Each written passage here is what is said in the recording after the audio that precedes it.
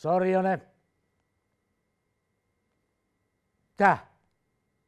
Mitä?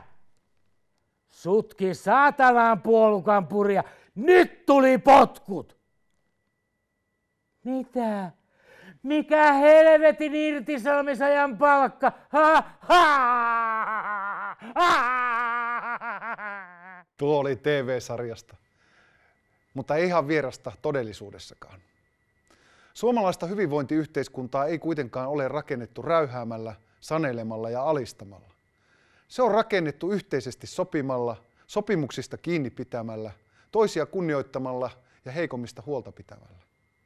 Siksi inhimilliset arvot tarvitsevat puolustajansa myös tulevaisuudessa. Vai mitä näyttelijä Jussi Myllymäki? Olen samaa mieltä. Jukka on oikeassa. Äänestetään Jukka Hämäläinen eduskunta.